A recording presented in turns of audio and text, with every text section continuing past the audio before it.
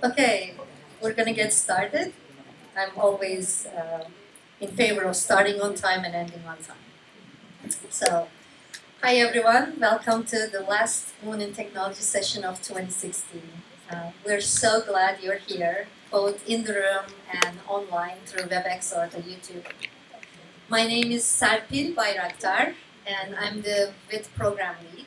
I'm also a principal engineer here at Cisco. Um, it's my great pleasure to introduce our guest speaker, David Ward, today. He's the chief architect and also the senior um, VP of Chief Technology and Architecture Office. Uh, Dave is a special guest for a couple of reasons. I just want to talk about them quickly. One, he's the executive who funds all of this, this program from the beginning. That includes our lunch, awesome lunch, and the time of our fantastic program manager, Christina Vargas, over there. My time, as well as uh, Dave makes all kinds of suggestions in terms of topics and speakers, so we can bring in the right topics and really good speakers. The second reason why he's such a special guest today is because he's the first executive who ever invited me to the table in Lean In Speak. And I mean that literally. I started working for Dave about six years ago, and one of the first things he did was to invite me to a very important customer meeting. So I went there, I entered the conference room quietly, sat in the back, you know, waiting for my turn. Dave looks at me, pushes his seat aside, and like asked me to join him at the head of the table, which was quite shocking. and introduced me to the entire room. So this was a time in my career where I felt like I was kind of lost in the corporate shuffle, even though I was working on very hard and cool projects. And I think a lot of you can relate to that feeling. You know, you work on something really, really hard, you make sure it works, you don't leave any loose ends. Sometimes you have to work on weekends and at nights, but Usually we try to get things done ahead of time so there is no crisis. Um, but then you find out that you're not invited to the decision-making meetings or customer presentations where your voice could have been heard or you know, uh, you could have been recognized and be involved in the next big thing. So for me, Dave was the first manager who broke that cycle. Um, uh, finally, Dave is one of those rare people who have an uncanny intuition and understanding of what technical women really want from their careers, and he has several ideas how managers can help achieve those goals. So I was asking myself, well, what do we want? Well, we want the cool stuff. we want to work on, you know, cool things. We want to geek out. We want to be part of really a teams uh, with brilliant engineers, you know, men and women. We want to work on challenging problems, interesting problems. That's why we have uh, entered into the technical area. But it's not always so easy. So it's really cool to have an executive who understands that. So it's my great pleasure to introduce Dave Ward. Thank you.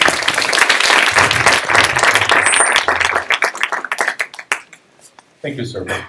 So uh, and I actually have a much longer history than that. Um, she was uh, the University of Michigan, and I was the University of Minnesota back, I think, at the first job you had in the U.S. Serpil. And um, so we've known each other quite a long time, and there's much more to the, the story um, that, that Serpil can tell, particularly of the last six years when we started working together again at Juniper, and we both came to Cisco uh, together about five years ago, actually, just this week. What's today? Saying that. Five years ago tomorrow is when I came back.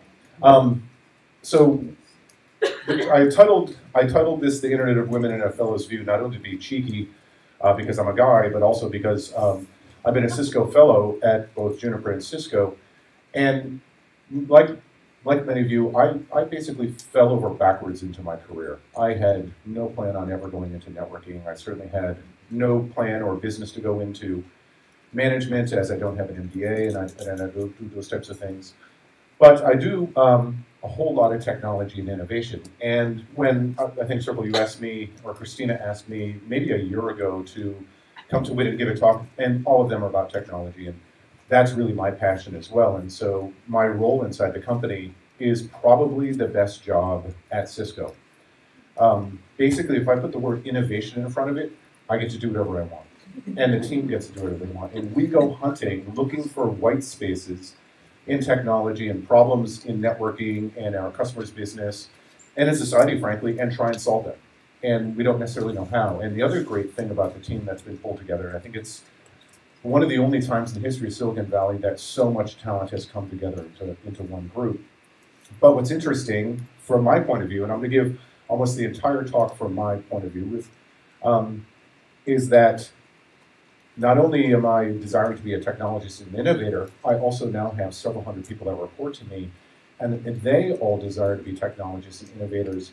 And many of them are at different points in their lives and different points in their careers, as well as thinking about the technology and the evolution of what they want to work on.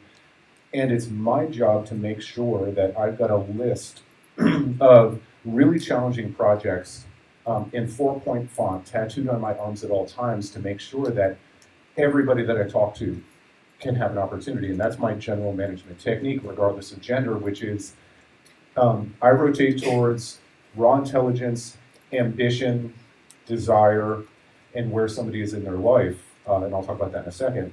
And I'll seek out those people long before I go for the uh, perfect CV and look at the, oh, they only graduated from certain schools and that type of thing.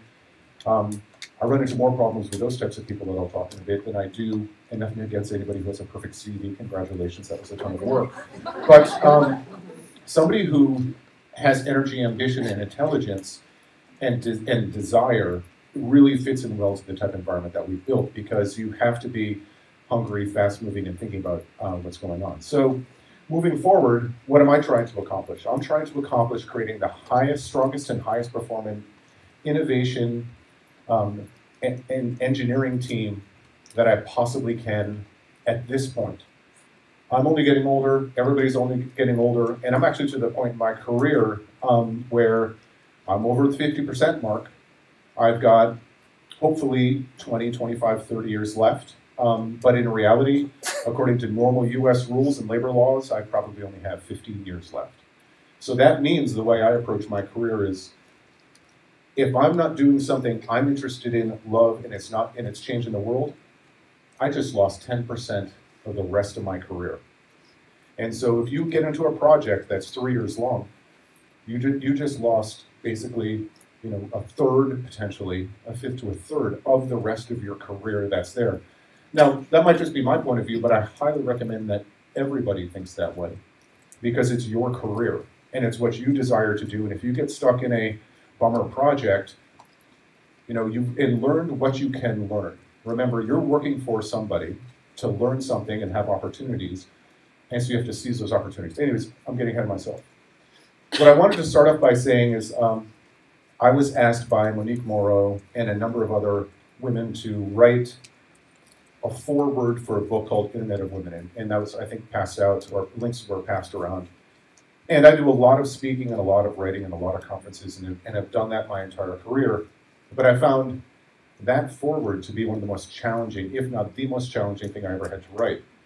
Look, let's face it, in the last three years, brand new CEO from Microsoft gets on stage for the first time at a Grace Hopper conference and says, Dear women, don't even bother asking for a, for, a, for a promotion. The system will take care of you. And it's just like, are you kidding me? I mean, how could you have possibly gotten to CEO and missed the boats that you know that far? Um, but what's interesting about this is that the way I look at diversity is not in the traditional terms that we read in the trade rags um, that are that are right up here. It's far too limiting for me to actually manage my team according to just the terms associated with gender, orientation, race, ethnicity, etc age, religion, because those measures of diversity don't enable me towards developing new technology and engineering teams.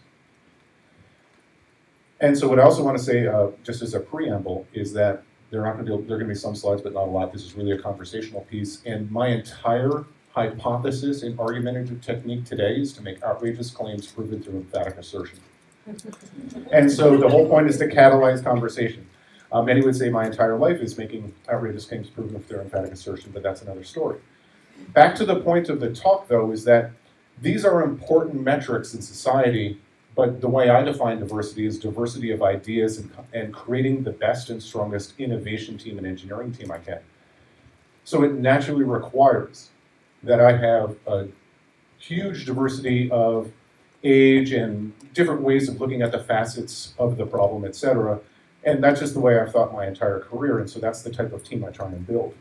Next is that since I've been at Cisco, which interestingly started December 17th, 1999 at 3.15 p.m., uh, but who's counting? Um, the entire technique, uh, sorry, um, that was a Friday afternoon. December 20th um, was a Monday morning. I walked into the front door of the building, was met by John and John Chambers and, and Joel Bion, walked into the big conference room right around the, the side of the lobby. And it was full of all the D's and fellows and the CTO at the time and Van Jacobson and a whole bunch of just massive luminaries who had built the entire internet. And they're all sitting there waiting for, for us to show up. And there's a few of us, um, many from Michigan, a few from other places, um, old friends of ours. And I had just gone through an acquisition, but 8 a.m. hands me a pen and says, draw us the architecture of the next core router we're going to build. And so the only reason why I mentioned that is the only way you get um, to advance your career is by given opportunities. Not everybody gets that opportunity. Um, many, some of you have, hopefully many of you will, but it's become my entire management technique. Think of managing every individual by the opportunity that they're presented. May not be their exact, their exact current set of skills, may not have been their experience whatsoever, but if they have energy, ambition, talent, and desire, they're going to naturally overcome anything they don't currently know, either understanding the problem or coming up with a solution. and also, the other thing I want to mention is that since I've been here and even uh, at Cisco back to 99, um, there has been a line of people out my door asking, uh, how can I have a project? Many of them aren't looking for a job, some are, many aren't looking for a job, but they're actually just looking for something to do because their current job is so bad, either mucking out the stables of somebody else's buggy code or just implementing the, the same test in some new language or whatever the case is, and they're really bored and they just want something to think about and something new.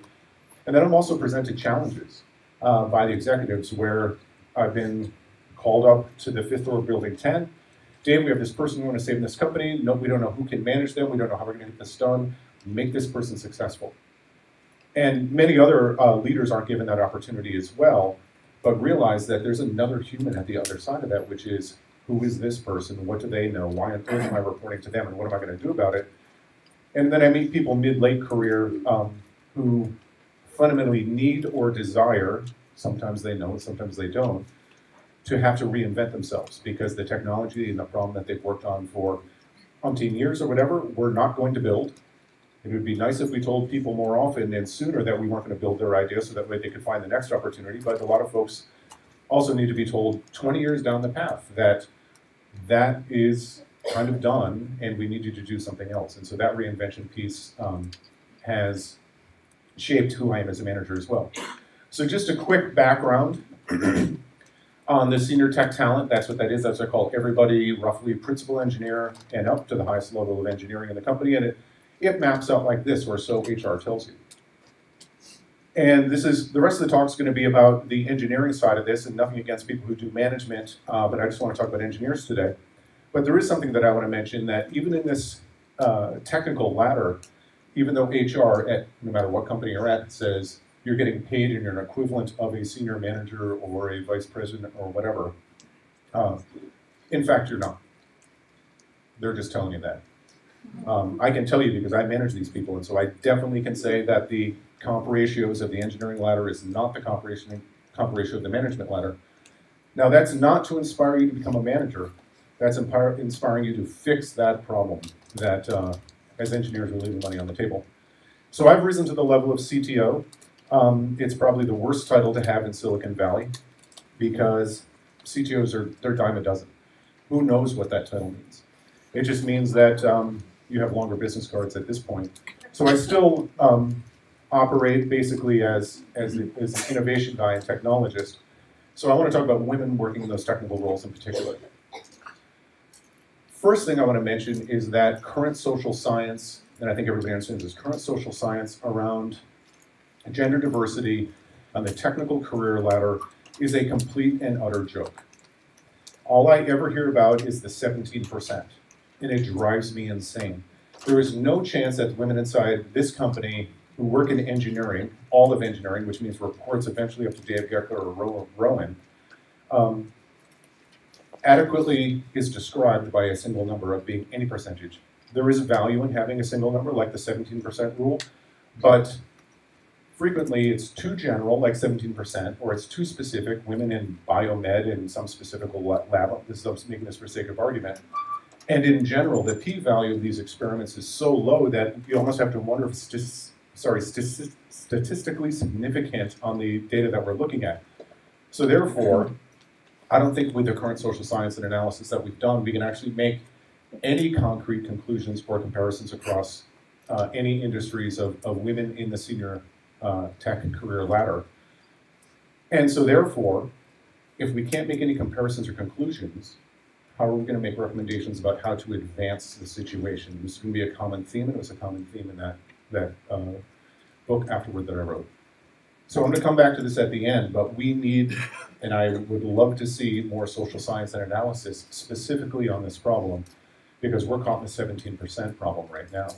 So, talking specifically about networking, it is, I believe, in Silicon Valley, one of the most creative um, uh, arts, sciences, of engineering in the history of, you know, of, of building products, technology, and the rest of it. But um, I want to make sure it's clear that creative thinking does not require a penis. And so by saying that, there are other fallacies that currently exist inside the company, which is the farce of meritocracy. Um, the system will not take care of you. The best ideas don't necessarily win. The um, ability to say that my manager will notice me, I did a great job, I did it on time, and I don't need to say anything because they got it, will not happen. You have to, and we'll, we'll just talk about this some more. So even by the most basic analytics, and the ones that I see because I'm involved in these in the company, is that patent counts, industry group leadership positions, lines of code in open source, um, and just number of check-ins, authorship of technical specs, and then if you also just take a look at job satisfaction, CVs on LinkedIn, um, etc., it's pretty clear that promotion by meritocracy is a complete farce. And again, I haven't done the science myself, but I've done my cursory evaluation over the years to watch how the trends are happening in the industry. And um, meritocracy is not going to get anybody ahead. So being an innovation manager is really interesting, particularly in a big company. I sit through the same HR talks that you do. Um, this is my first HR talk I've ever given, so it's kind of interesting. I wonder if it's going to be my last or last last of my career. I might have, I might be at the 99 percent of my career, uh, depending how this goes. But, oh, really good. Thanks, Monica. Um, look, the state of the art of HR today for gender, or sorry, for conversations around managing gender and diversity at large companies in Silicon Valley is listen more, talk more, be encouraging. You know, talk about work-life balance and work towards creating a better statistical proof that we have better diversity statistics than we had last year. That last one being the most important. Um, so that's necessary. It's all great. It's it's good to be a good person and listen and uh, I should listen more instead of talk so much. But nonetheless, it's necessary but not sufficient. Sufficient, and it's often, you know, continuing and continuing to be delivered and continuing uh, in a Dilbergian motion. Um, so instead of managing these things, these, these things are important for me as well, trying to build the highest powered engineering innovation team.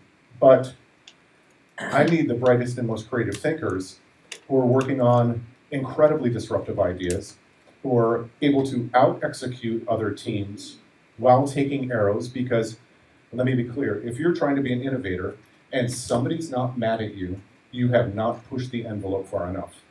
full stop. You should be pissing people off, especially intellectually, hopefully, and only intellectually, but nonetheless, to be the, the top, the tip of the spear, you also have to do, uh, be able to move mountains yourself because as everybody knows, people will actively try and shoot arrows at you, destroy your idea through a variety of technical and political pieces.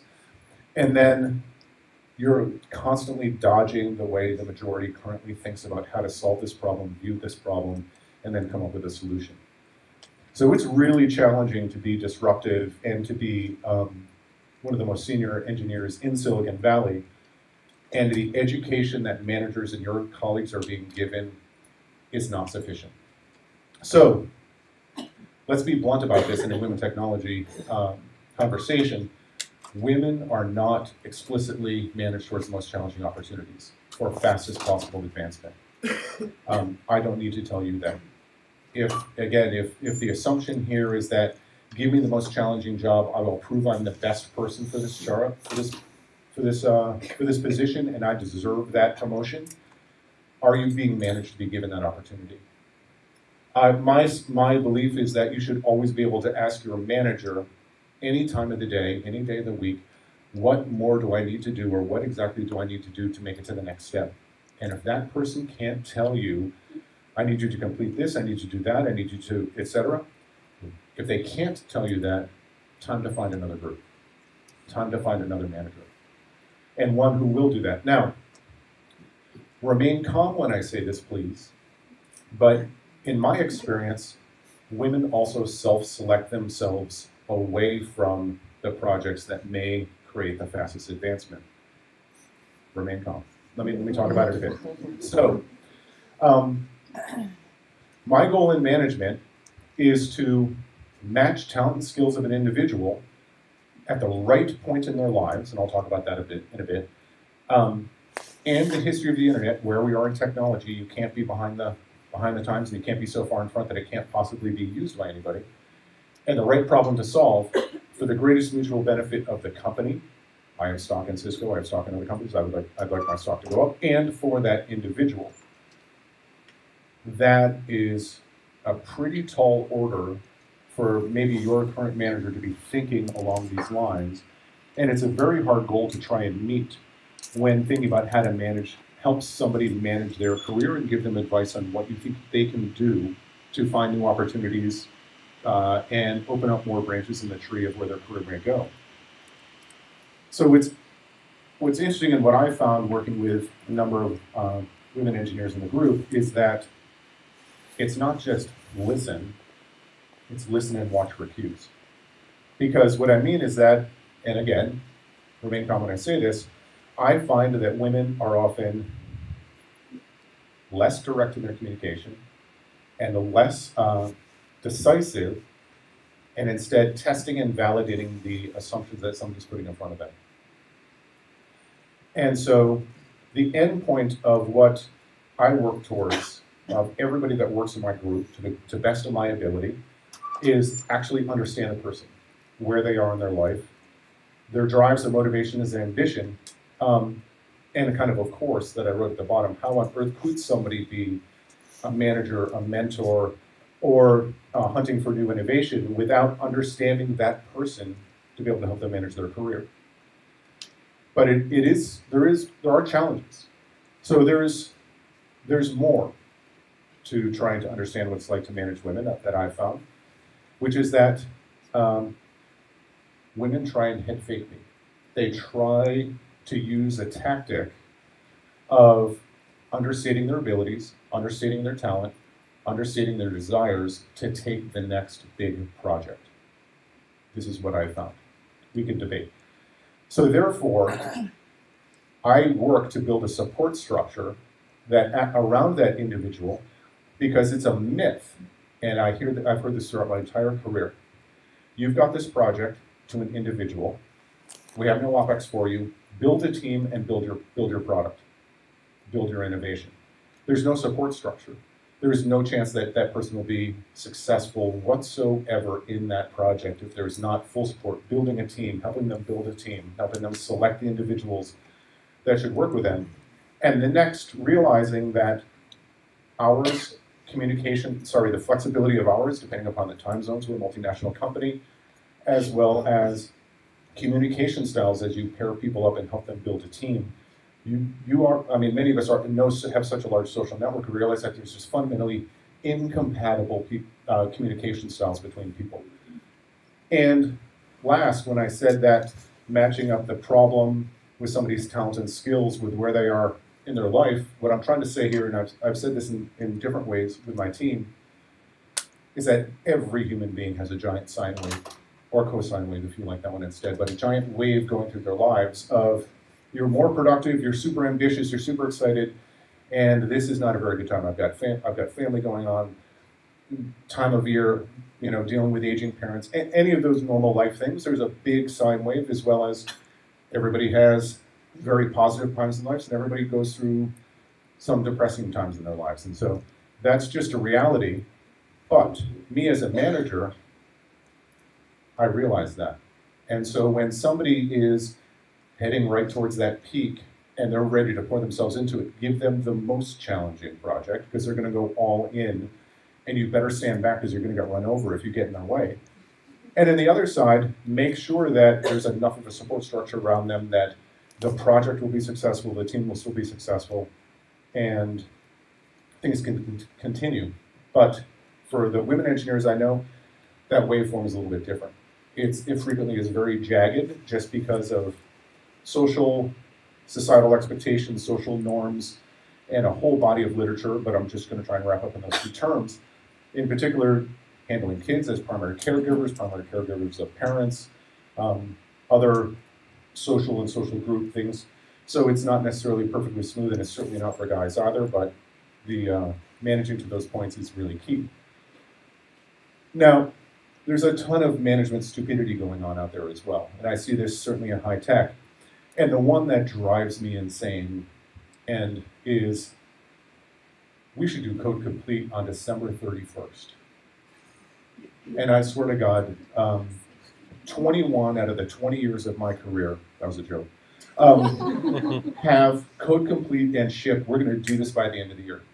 If you couldn't plan the entire year to have shipment on December 10th, instead of smack in the middle of school break or smack in the middle of all the holidays or whatever's going on, um, you're going to screw people up. And women, as a primary caregiver, will, I've found, will self select themselves out of those projects, away from those managers who are so stupid that they don't realize that their priorities are for their family and not for a fictitious December 31st date.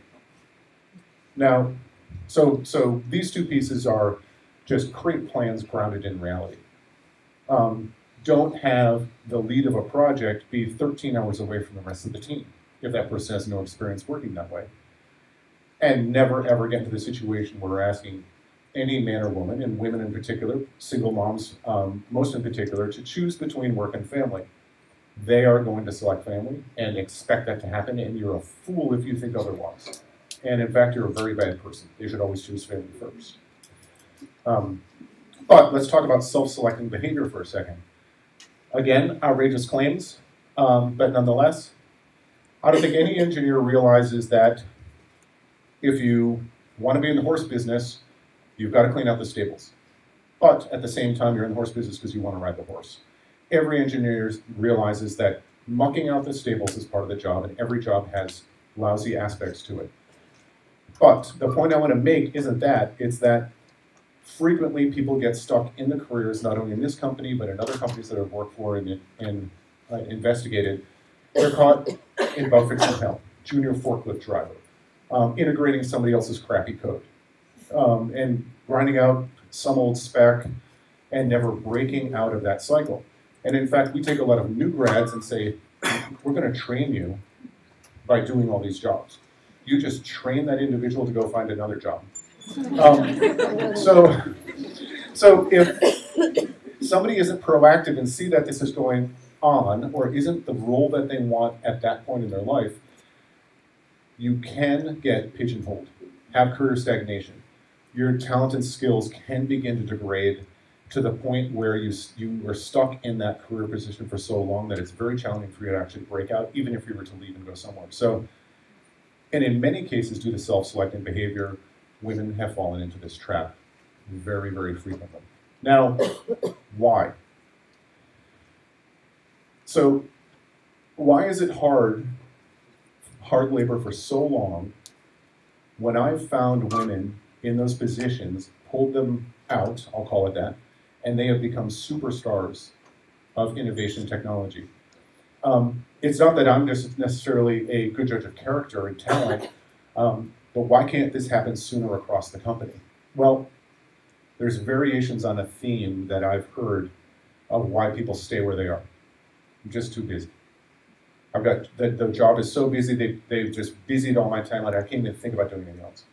Um, I'm worried about making work commitments because I've got family obligations and it won't work out. Um, as we continue, any stability and any fear of disrupting stability in the, the, style, the lifestyle that they become accustomed to.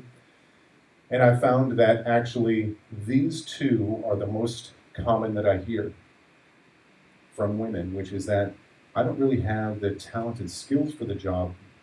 I don't know if I can do that. Probably shouldn't apply. Don't know if I can do that job. And the other one is if I leave this job, I'm going to leave it undone or I'm going to leave it in a state which isn't up to my standards. The second one is admirable. They're thinking about moving. The first one is ridiculous. So, and then there's many in this room, many women in this room who, who work with me in my group, where the management technique, and I'll pick on Sangeeta because I said this earlier, let's see if Sangeeta can swim. And, uh, and according to Sangeeta, I'll just, for sake of conversation, her CV and resume would have no business for Sangeeta to be working uh, on cellular telephony. I don't even know if that's true, but it's good for my argument. And but right now, the, the, the primary output of her technology is actually going to be for 5G and, and things like this. And what's really interesting is it's saying that your, your technology is more valuable over here, figure it out. And so if I was to ask her if it went through, she's like, no, this is perfect for cable. I'm going to stay in cable. Everyone loves cable. Everybody needs cable. And no, it's not going to happen, Sangeeta, um, because we're going to throw you in the deep end in this case. Um, but it just works out. It works out, one, because we're longtime friends. And I know, regardless of, of the situation, she's just going to figure it out. So let me continue forward. So if women continue to self-select from opportunities that are in front of them, they're going to reverse their career progress.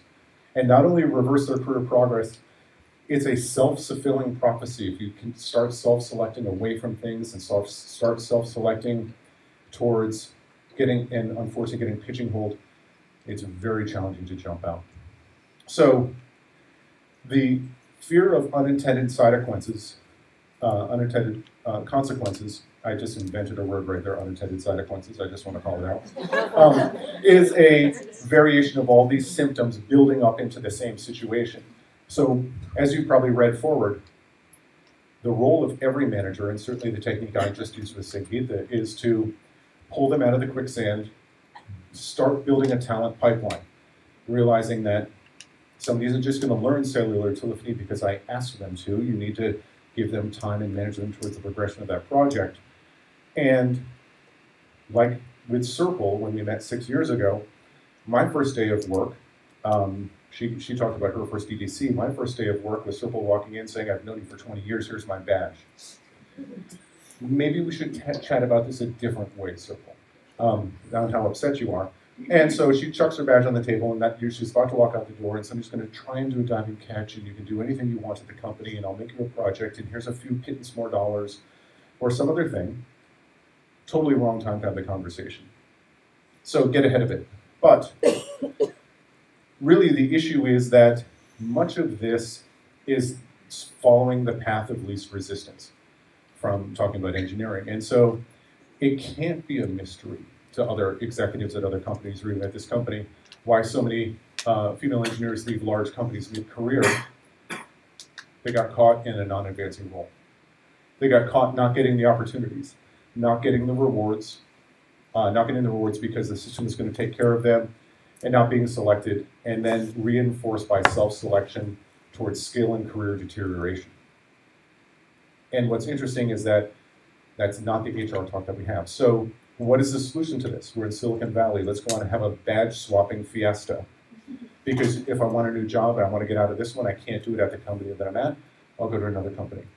And it has become part of the Silicon Valley culture. If you want more money, um, go to another company. Now, I did leave Cisco. I did go to Juniper. I did come back. I did get promoted by doing all that. but that wasn't the point. I actually never, ever, ever thought I was going to come back to Cisco for the rest of my career. I was here for 10 years. I was completely covered in paint as the router guy. I had built 23 of the world's fastest routers in a row. I was completely bored. And I'm like, I'm going to Juniper. I'm going to go work with the life friends I have over there. I don't want to go. I don't ever plan on coming back. I'm done because I was not able to um, ever reinvent myself and do more. And when you're as egotistical as I am and believe that your ideas to affect the internet um, are bigger than a router, and you want to do more, you want to get all of your ideas out of the internet as much as you can, I, I felt I needed to go to another place. Now, it's, I can tell you the Juniper story another time. I'm about to go over the cliff. So, um, the path of re, uh, the path of least resistance in my hypothesis is out the door for every engineer who is caught in these stagnating jobs. And so this is the real problem for women who face glass or real ceilings and conscious or unconscious bias, in my opinion. So the experiments that I've run, um, like I said, I've always had folks asking me, please give me a cool task to do and a new opportunity and innovation. And I look for somebody on where they are on the raw intelligence curve, ambition, desire, drive, energy level, maybe that sine wave. But I'd love to see social scientists actually begin to analyze both positive and negative catalysts for innovation and for career movement inside high-tech companies in particular. So let's talk about negative cultural catalysts because this affects the way that I've seen women advance their careers and certainly things that I've had to deal with when I've been, uh, you know, as a manager, which is that according to meritocracy and engineering norms, the culture is the best idea wins almost the way it should be. We're looking for the best technology.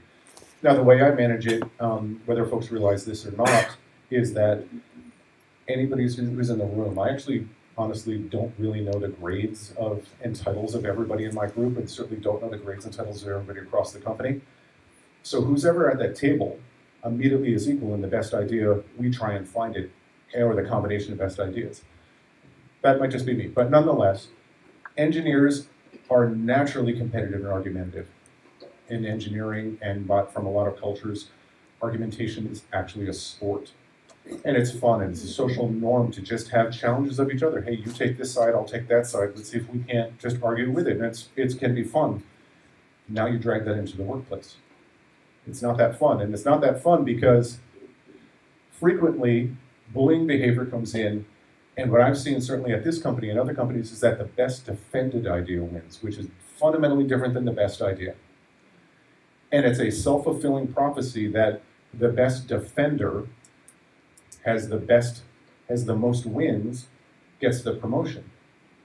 So the bully jerk who happens to be the best argumentative technique by using any social technique they want, making you feel bad, guilt, shame, browbeat, whatever the case is, really bad social behavior ends up becoming the one who's promoted. And that is just, of course, abhorrent and not the way we want things to work. But from my vantage point, that's the way things are working. So, as a manager, it's not that easy to ins- insert yourself into the middle of an argument, a discussion, conversation, and select best and non best. You actually have to know what the hell you're talking about. Many of our managers don't know what the hell they're talking about. Um, and it's not for the faint of heart. So what is the self-selecting management technique that managers do? Page one, chapter one, book one of a multi-volume management uh, handbook set. Guess what the rule is? What would happen if I do nothing? And most of you recognize this as the primary management technique that occurs inside engineering, which is, what if we do nothing? I bet the team will figure it out. That's exactly what I'm not talking about get in there and make sure that the best idea wins. So what's interesting is that for best ideas, these are personal expressions of the art of engineering, of math, physics, coding style, coding skills, expression in a particular programming language, etc. But we all know that hell has not seen a bigger ego than a software engineer whose code finally compiles. I mean, it's, you'd think that, you know, uh, they managed to make the Red Sea port or something like this, but it's unbelievable. So this is all now a self-reifying negative catalyst towards aggressive techniques that win. Those who aren't aggressive um, get caught in technical Darwinism. And the current American trophy culture and our special flowers who were told that they're all special their entire lives, people have become accustomed to winning. Now, what does this result in? Results in a destruction of team color, culture, and in particular, a team with women on it. Because I found that women don't put up with that shit. They don't want to, and because they don't want to and they refuse to, what do they do? They self-select away from the manager, the project, the team, and in particular the technology. And that's that's the big problem that I want to illustrate coming out of that, that particular piece. So talking to talking as a manager, I don't let people check out in meetings or in when it comes to idea forming. And I don't let people escape without actually having received specific instructions on what I need them to do and specific goals that they will be measured against within their team and as an individual. And if women are already self-selecting out of harsh jerk-laden teams, they're also going to primarily self-select themselves away from leading or managing teams that have a reputation of hostility. There's no way I can talk any woman to ever taking on a horrible, horrible culture team. Um, I'm, I'm making a generalization, but nonetheless, so what can we do about this? General rule. You can have the most brilliant person on the team, but if they're poisonous, they can do better somewhere else. They can't do well on my team. And so a number of folks have found it very, very odd at the level, by title, by grade, by experience, and by um, technical prowess of the people that we've let go from, from the team because they were causing poison. Next, that excuse that this person is so brilliant they can they can get away with anything they want. Not on my watch. If it's it's not an excuse to be brilliant, and in fact they're managed out of the group, off the project, out of the group, and potentially out of the company if they can't find a culture in which they can express their brilliance in a way that other human beings can stand being in the same room as them. Um, anybody, and I, I, also have another rule, so I guess these are James rules of management. I never thought it that way. Anybody who asks to be appointed, I, I need to be appointed as the leader, and people need to do what I what whatever I say and what my architecture is. Take that badge. Nobody gets knighted. Nobody is, you know, suddenly you are always right. You are always perfect. Everyone will always listen to you. They are always below you and more stupid than you are. We don't play that game. But that being said, I apologize. I don't even know your name, but I was looking at you. Um, but here's the deal. Look, being a manager and being a leader is not easy. We're building products here. We're building technology. We have to hit dates. Customers are expecting stuff. Decisions have to be made. Um, uh, and so this company is, and most companies are not a democracy, and a decision needs to be made, I know that I'll go in and make a decision. Hopefully, it's the right one, but uh, it's not always the case. And then the other technique is when your most brilliant person decides to be a barbarian at the gates of Building 10. We're in Building 10, exec CEOs on the fifth floor, and they're going to go around the entire system and just say, you know, build my project, give me a promotion, and things like that. No, no, that, that, that doesn't fly either. So therefore, extra efforts required in leading uh, these teams, innovation teams and high-powered engineering teams, and women in particular. Managers and leaders of teams are not necessarily ones with the best ideas who have all the technically right solutions. Hopefully they're the ones who are the best educators, be able to actually facilitate debates and the communication of problem solutions, ideas, and otherwise. That leader also has to be able to not only produce and exchange that information among groups, but also speak on behalf of people who don't speak up in the group and fulfill any of those roles.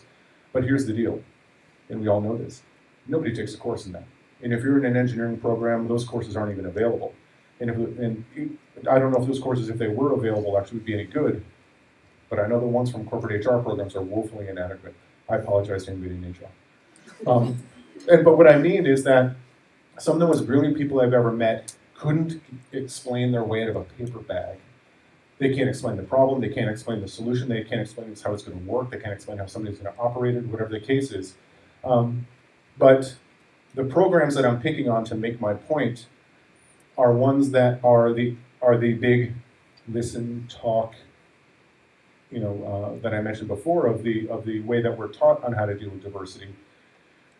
But they're really missing the major skills that are necessary to create an intellectually diverse and then socially diverse group of people that are necessary to create the strongest innovation teams and engineering teams that you can, which is um, the skills that engineers just aren't taught. And so the current one size fits all 17% rule isn't, isn't cutting it. So what are we missing? And, and the point here, in getting you at the end of the slides, is that the, the story that I wrote in the afterword, if you had a chance to read it, and I'll go through just a second again, you should realize you read a story about WIT. Everybody should understand that that story was about Serpil.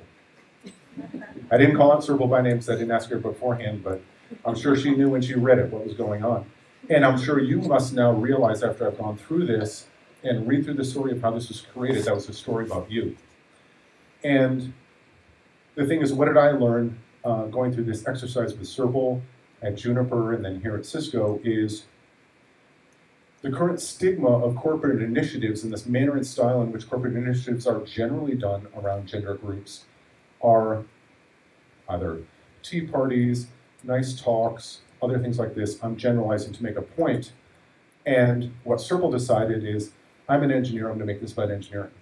And women are gonna wanna come here because it's about topics that they love and care about and are interested in learning and don't have exposure to, etc. But one of my point here is that gender studies are really missing just the basics of understanding what an engineering environment is like, analyzing this, and it's underserving the topic of women in technology.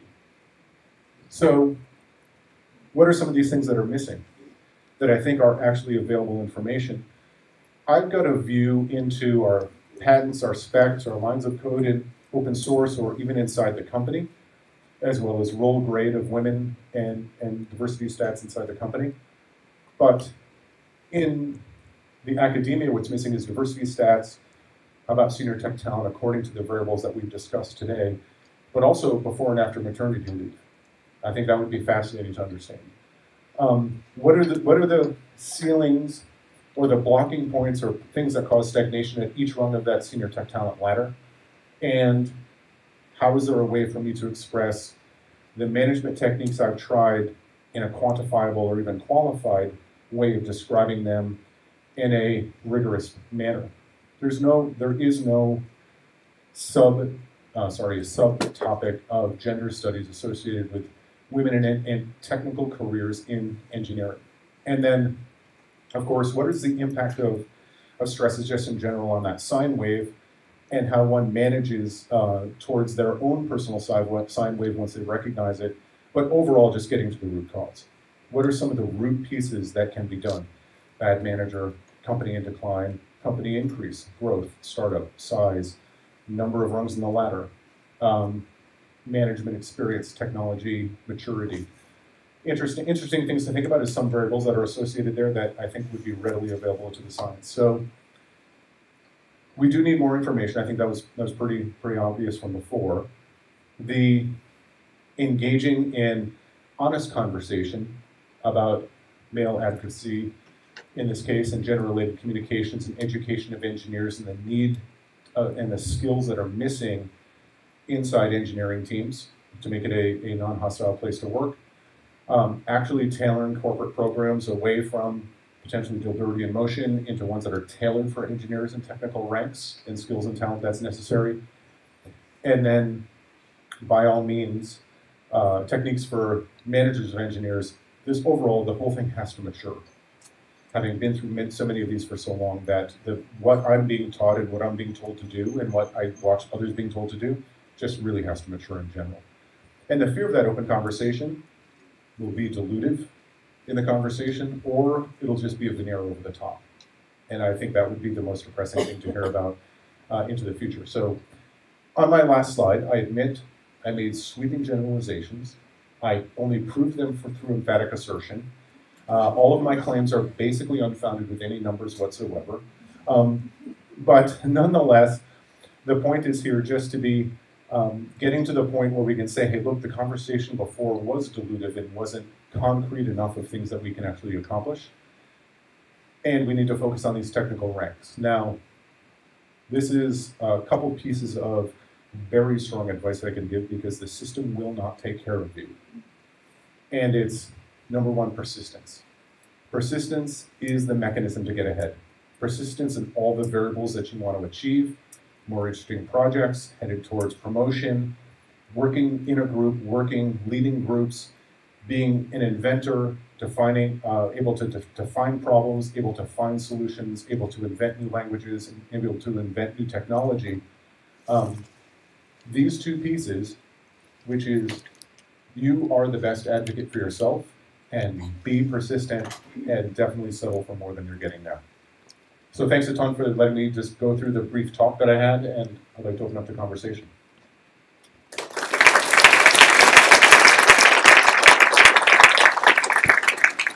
So by the way, that as hard as it was for me to write this chapter, coming into this group and knowing that I, I felt like I should have a t-shirt with a big target on the front, and I accept that. And so I accept that I can only be myself, so by all means, any questions whatsoever that you have, I'm willing to talk about.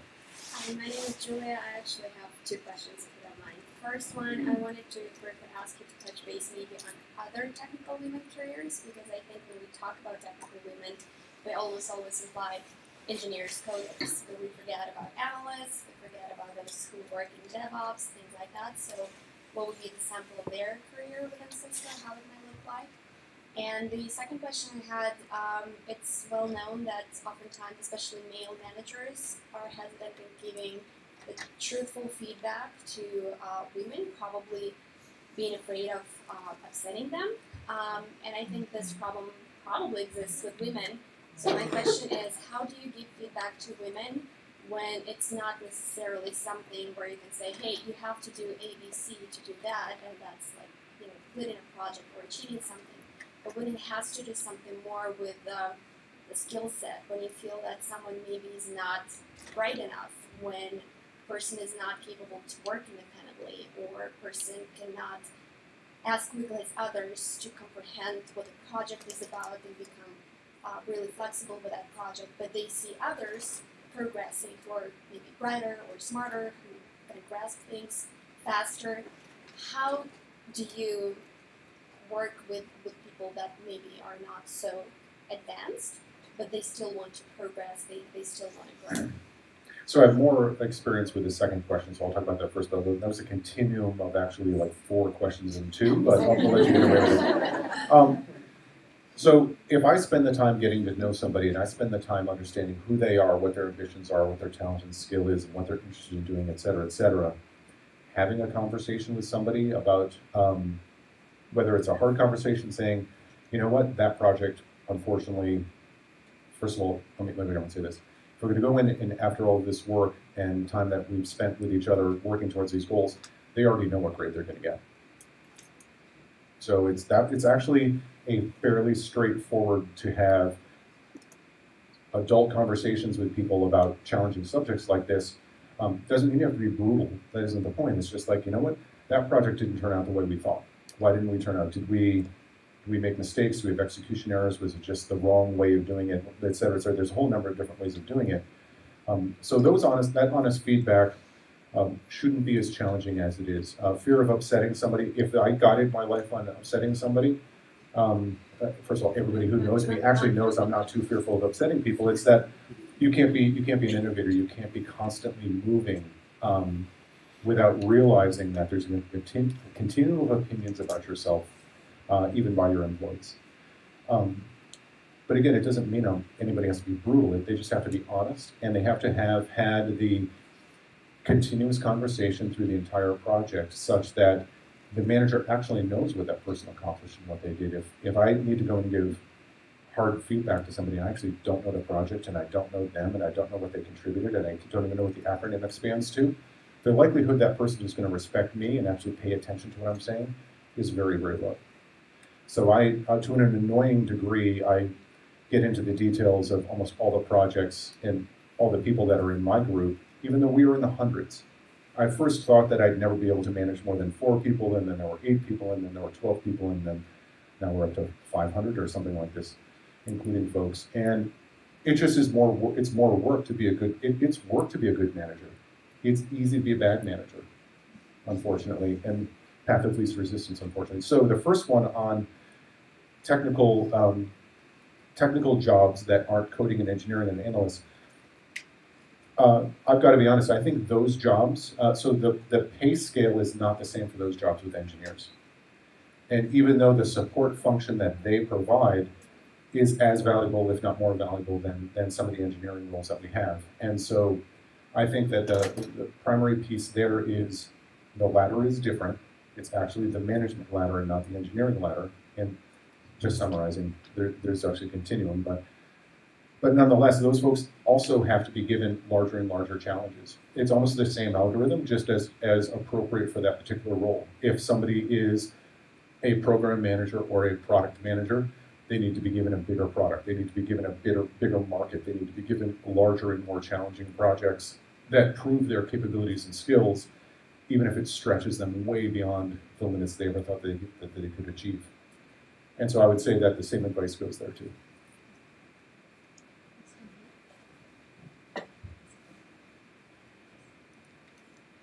I'm Sujata Joshi. I'm from uh, Cisco IT. Big shout out to Serpil actually to arrange these sessions, and I've been enjoying them. Uh, so my question is, you know, women uh, mainly on the uh, networking, not the technology is networking, but the people networking, and we tend to be very siloed. We we have our ideas, we present it in a in a, a very so small forum, maybe to our managers or maybe to our peer group whom we are actually comfortable.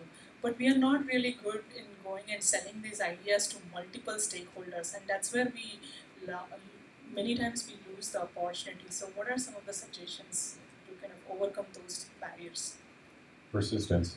Um, so I, I, I understand the point you're making um, it's just that we've had so much success getting beyond um, uh, getting beyond that solid behavior and the success that we've had is acknowledge if you're trying to convince your first line manager, and I, don't even know who yours is, so I, I'm not offending them. If they don't get it, you're talking to the wrong person. If you're talking within your group and they don't get what you're trying to do, you're talking to the wrong people. And so through networks like this, you can find the right people who would understand the problem you're trying to solve, the solution you're trying to bring to the table, the technology or the opportunity that you're able to create. Um, if and I'm not saying you, and I, I don't want to overuse this, but if you're caught in too solid of a business, you need to, to think about whether or not that's where you want to be in your career, or if in fact you need to be uh, tackling a, a, you want to tackle a larger problem. But nonetheless, it, this is simple. If, if you're bringing, if you go to a doctor and say this hurts, and they say I have no idea where that hurts, I'm not an arm specialist, you stop going to the arm specialist, or you stop going to that doctor. I meant. So you understand what I mean? You, no doubt it happens all over the place and all over the time where you just you see the look, you know that somebody doesn't understand what you're talking about or, what, or the value of what you're trying to bring to the table.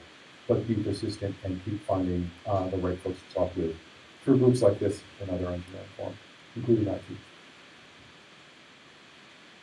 Hi, I've enjoyed your talk. Um, I've been a manager and an individual contributor, and one of the first times I went back to being an individual contributor, I had this goal that I wouldn't work for a manager who had um, manager skills less than mine, and I realized I probably not really have many jobs. and so it's helped me as an individual contributor because I understand the management point of view. But a lot of women don't have that experience and they're not going to have great managers. So, what's advice you can give for how to be successful when you don't have great managers who don't think about these things? Well, it depends whether or not that is the place that they would like to be, but they would just like their manager to go to the moon and have another one come in. Good, the technology is good, but the manager's not going to have these kind of discussions. Uh, have these kinds of discussions with them. Um, so, uh, managers need to be trained and they need to be trained well by their employees. You must understand that because you've been both. Um, if you aren't upwardly managing well, they aren't going to downwardly manage well either. And so they need to understand how the team is functioning, what the technology is, what the solution is, and what the needs of the team are. And the need of the team might be for that manager to just go away. Not, not like go away in their career, but just like stay out of the way, I should say. And a good manager will realize that just um, but nonetheless, it's it's publicly managing well and training them to be managers in the manner and style in which is best for the team. The way at least I view is that a manager is there to help the team. The team isn't there to make, just make the manager look good, even though frequently that appears to be the motivation of why someone becomes a manager. Well, I just pulled that pin and dropped grenade. Hi there. Sangeeta. Uh, thanks for throwing me the deep end. but a couple of questions. So one uh, seems like you share a pet peeve with this lack of uh, data about uh, diversity on the technical track. Um, because just like the previous uh, speaker, there used to be a software engineer, digital contributor, moved to management, saw very few women in each of those, got progressively worse, then moved to the technical track, and so now this is actually has a list of types of roles that I have. So what about Cisco data? Have you asked for data within Cisco to collect data on how much diversity stacks up between software engineer, tech lead, Yeah, interestingly, whether it's um, looking at diversity statistics, statistics or actually the progression of the senior tech talent pool in general, which will naturally pull the, the diversity statistics with it, um, I made that part of my remit. There, uh, and it's not because I'm any special person, it's just because I'm, I'm helping, and one part of my job is to work with creating the, the upper pipeline from tech leads to principal engineers on up. And when you when you do that, you need to look at a whole bunch of different variables associated with that. So the, the issue is that it's actually illegal for me to share a lot of that information publicly. As you might imagine, diversity statistics and the way that we currently have a conversation about it in a, in society is that you get sued over having conversations about this and releasing numbers in public. And so if one, if we put up a number, and I put up the seventeen percent because that's roughly what everybody quotes, and you know even if that gets tweeted, that's not going to be a problem. But if I put up, unfortunately, if I put up the actual numbers and Sangeeta, let me just summarize, they're worse than you ever thought on all fronts. Um, on what it looks like. Yeah, and there's Sangeeta. No, but even when you look at patents, lines of code checked in, lines of test code checked in, number of uh, in different leadership positions as tech leads or others, how many people are associated with those Scrum teams or Agile teams, whatever the case is. Um, that's where the 17% breaks down and really is an umbrella, which 17% sounds bad, but the actual details are much, much worse. And the opportunities that um, I see out there aren't just opportunities for internal career growth, because um, a good friend of mine, Padma, uh, right in front of you, we've worked together at several companies. Um, you advanced your career by also doing external work in standards bodies and things like that. And as you know, Padma, you're one of the only ones in Sangeeta you do the same thing in, in your field. Some of the only only women out there. And everything I just described here, I think, is ten times worse because uh, out there in the in the brutal external world of, of external specs. But nonetheless, Monica was right. You can pretty much count. It's getting a little bit better, but the reality of the situation is the needle hasn't moved very much, and I think it hasn't moved much. Be, not, it hasn't moved much because of the management skills, the management training, the desire to create opportunities, and the understanding of how to actually manage engineers and, and tech talent towards those opportunities. That, that's my thesis. Circle. There's a question on WebEx. If you and your manager are competing for the same set of tasks and responsibilities, considering the manager likes to control most of the deliverables, how do you convince your way up that you can take ownership of your own responsibilities?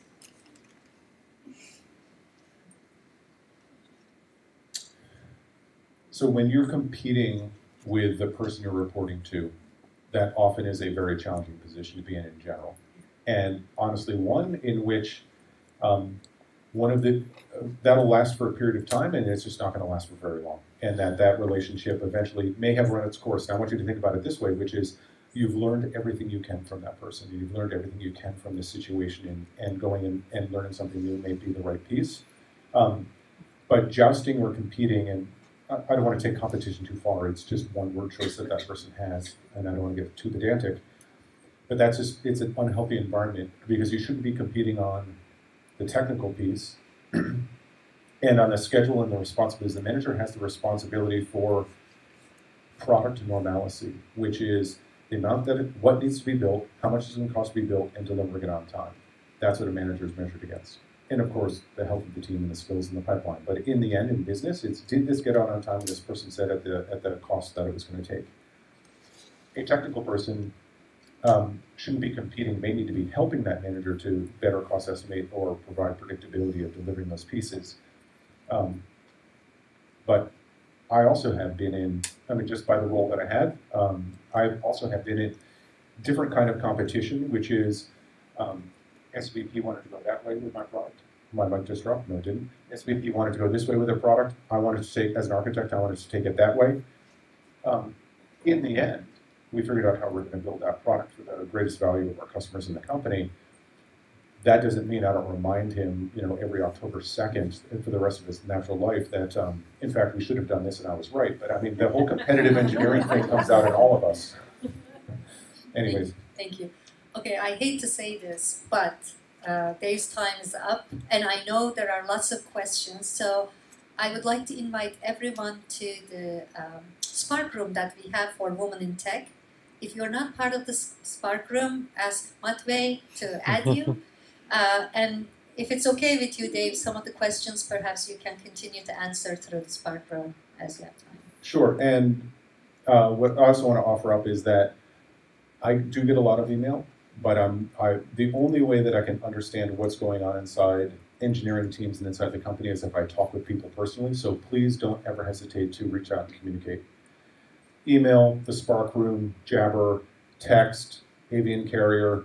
Um, I talk to a lot of people and, and really enjoy what I do in my job, which is um, have long and deep tentacles throughout all of Silicon Valley. And that's the way I like to operate, and that's the only way I know how to how to live and, and be the best engineer I can. So thank you very much for the Thank you opportunity. so much for coming.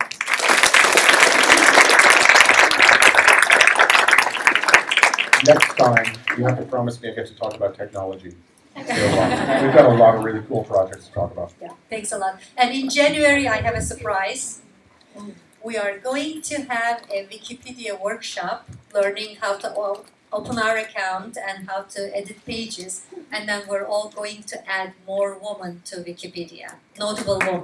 So we're going to have a group from Wikipedia who will come and do a workshop for us. So thanks for coming.